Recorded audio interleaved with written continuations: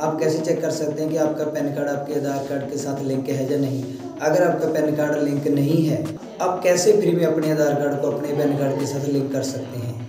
सबसे पहले गूगल में सर्च करने पेन लिंक विद आधार और सबसे पहली ऑफिशियल साइट इनकम टैक्स वाली को ओपन कर लेना है और आप जैसे ही ओपन कर लेंगे, सबसे पहले आपने अपना पैन कार्ड वेरीफाई कर लेना है और देखना है कि एक्टिव है या नहीं। उसको वेरीफाई करने के लिए आपने नीचे जाना है। वेरीफाई यूर पैन पे क्लिक करना है। वेरीफाई क्लिक करने के बाद आपने अपना पैन नंबर और अपना फुल नेम भरना है और डेट ऑफ़ बर्थ और मोबाइल नंबर भर के कंटिन्यू कर देना है। कंटिन्यू करने के बाद आपके मोबाइल नंबर पे एक ओटीपी आएगा। आपने वो ओ टी पी इस पे एंटर कर देना है। वो ओ टी पी आपने वहाँ पे, वो ओ टी पी आपने यहाँ पे भर देना है और वैलिडेट पे क्लिक कर देना है। वैलिडेट पे क्लिक करने के बाद आपको ये दिखा देगा। जब कोई दिखाएगा कि आपका पैन कार्ड एक्टिव है। अपने आपने गो बैक होम पे चले जाना है और उसका स्टेटस आपने चेक करना है।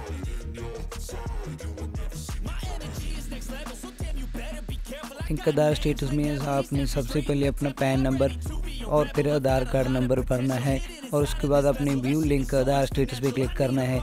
ये देखो हमारा पैन कार्ड आधार कार्ड के साथ लिंक नहीं है। लिंक करने के लिए हमने लिंक आधार पे क्लिक कर लेना है। और यहाँ पे आपने अपना पैन नंबर और अपना आधार नंबर भर देना है और वैलिडेट पे क्लिक कर देना है। कंटिन्यू पे क्लिक कर देना है।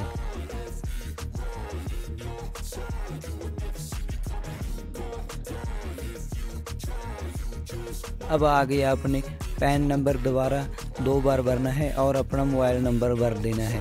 मोबाइल नंबर पर जो ओ आएगा, वो आपने यहाँ पे भर देना है।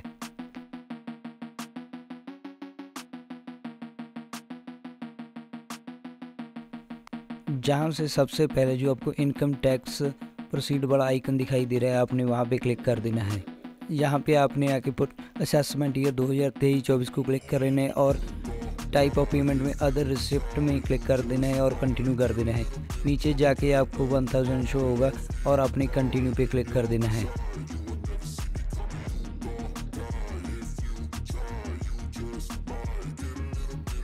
अभी आपके पास बहुत सारे ऑप्शन शो होंगे जहाँ से आप पेमेंट करोगे और वन थाउज़ेंड ये आपको बहुत सारे Axis Canara I C I Kotak Mahindra Punjab National Bank बहुत सारे अदर बैंक भी शो होंगे आप यहाँ से पेमेंट कर सकते हैं। बहुत सारे कैफ़े वाले आपसे बेफिजूल का टू थाउज़ेंड रुपीज़ ले लेते हैं और पैन कार्ड को आधार कार्ड से लिंक करने की जो इकतीस मार्च तक फ़ीस है वो वन थाउज़ेंड है। और आप फ्री में ही घर बैठे वन थाउज़ेंड तक की बचत कर सकते हैं। अगर आपको वीडियो अच्छा लगा लाइक करें शेयर करें और कमेंट सेक्शन में जाकर अपनी राय ज़रूर दें। वीडियो देखने के लिए आपको बहुत बहुत धन्यवाद।